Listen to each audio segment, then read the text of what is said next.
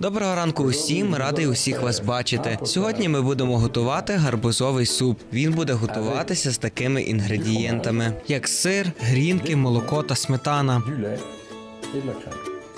L'originalité de ce, de ce plat est que l'on a évidé Оригінальність приготування цієї страви полягає в тому, що ми вийняли серединку з гарбуза і будемо його наповнювати інгредієнтами.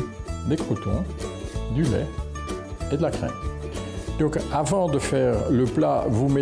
Перед тим як почати готувати суп, потрібно запекти у духовці кілька грінок.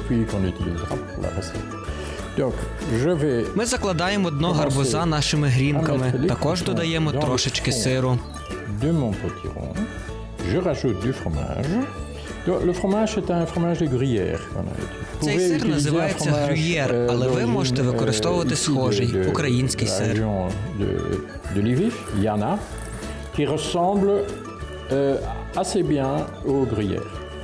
Важливо, коли ви готуєте цю страву, не заповнюйте гарбуз повністю. Зупиніться на середині. Là, nous avons nos croutons, le fromage. Тепер додаємо половину нашої сметани. Далі беремо молоко і заповнюємо до половини наш гарбуз. Не забудьте додати трошечки солі. Я використовую сіль морську.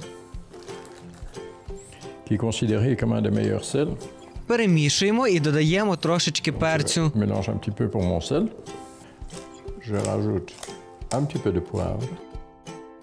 Закриваємо наш гарбуз ось так. Donc, nous fermons notre potiron. Pour la sécurité, on va Кладемо le його в mettre глибоку посудину. dans un plat profond. à Також diffuser un додаємо petit peu трохи à оливкової chaleur. олії. Donc, j'ai préchauffé mon Ми four нагріли духовку до à температури 150 150 degrés. градусів. І тепер Je ставимо mettre гарбуз maintenant, запікатися на 2 euh, години. mon potiron pour 2 heures. Зараз продегустуємо, що ми приготували сьогодні.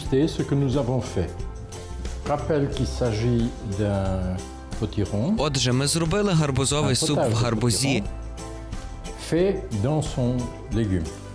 Коли ви будете накидати його у тарілку, беріть і шматочки гарбуза. Також його потрібно подавати з грінками.